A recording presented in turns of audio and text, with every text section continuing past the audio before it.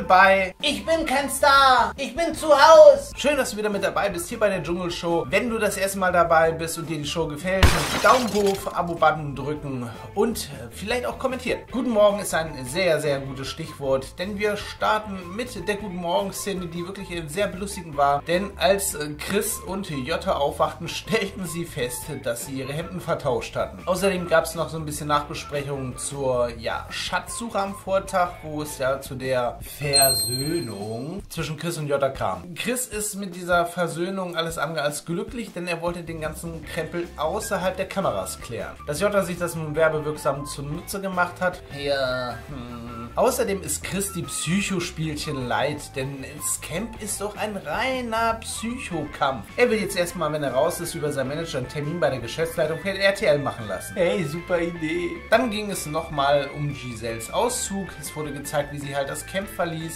Sie feierte sich ihn nichts Gutes und hält sich wirklich für die Größte. Für mich setzt sich der negative Eindruck von Giselle fort und ich stelle wirklich die Frage, welche Begrifflichkeiten passen am besten zu Giselle? Egoistisch? Egomanisch? Egozentrisch? Affektiert? Infantil? Hochnäsig? Oder einfach unreflektiert? Auch der gestrige Rauswurf wirkt noch bei Doreen nach. Sie struggelt ziemlich mit sich selber, was sie vielleicht verkehrt gemacht hat. Der Struggle von Doreen setzt sich fort, denn sie ist immer noch wirklich am überlegen, Mensch, ja, hier dieser Mann, den ich da gekickt habe, hm, ich will ihn noch zurück und alles ist so schlimm und dies und dies und dies und das. Ich bleibe trotzdem dabei, Leute. Wir Männer lassen uns auch nicht von der Frau verarschen und kriechen dann beim ersten Anzeichen zurück. Wo wir gerade beim Struggeln sind. Evelyn ist ebenso im Struggle und zwar geht es darum, dass sie ja bei dieser äh, Dschungelschatzsuche tierisch von Jota angeschnauzt wurde. Jota hat sie halt behandelt wie ein kleines dummes Kind. Er hat sie bei diesem Anschnauzen nicht nur angeschnauzt, er hat sie sogar mit der Hand so zurückgeschoben.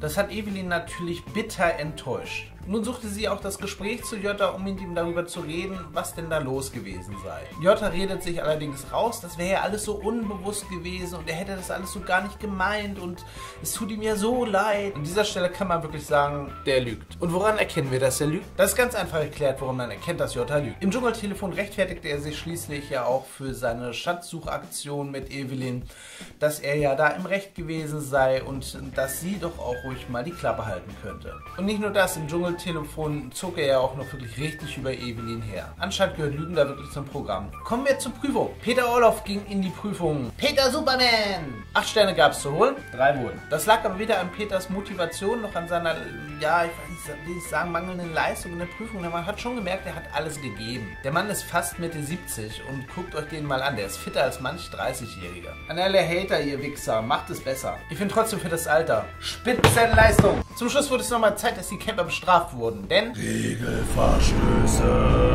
Die Top 4 der Regelverstöße waren Mikrofon zuhalten, zum Beispiel Chris, alleine im Dschungel spazieren gehen, Jota, Kippen tauschen, Leila oder alleine Nachtwache halten. Sehr markant hier natürlich wieder Giselle, die statt Nachtwache einfach weiter schlafen wollte. Völlig egoistisch, egoma. Ich verweise nochmal auf die Abstimmung am Anfang, bitte. Folge war, Luxusartikel mussten dieses Mal alle abgegeben werden. Abschluss der Sendung war dann heute der Rauswurf. Es entschied sich dieses Mal zwischen Bastian und Leila. Leila musste das Camp verlassen. Fand ich ein bisschen schade, dass Leila das Camp verlassen musste. In den letzten zwei, drei Sendungen hat man ja ein bisschen mehr von ihr gesehen. Ein bisschen mehr von nichts, hä? Ich bin über Leila selber ziemlich enttäuscht, wie es da irgendwie so gelaufen ist. Ich habe wirklich relativ viel von ihr erwartet, weil wie gesagt, ich kenne ja auch den Podcast, da ist sie echt unterhaltsam. Aber was soll's. Im Camp sind jetzt noch verblieben mit die unterhaltsamsten dieser Staffel und das ist letztendlich das Entscheidendste für uns als Zuschauer. Danke, dass du dabei warst. Abonnieren, Daumen hoch und kommentieren habe ich am Anfang schon gesagt. In dem Sinne, stay heavy. Bis morgen, dein MK.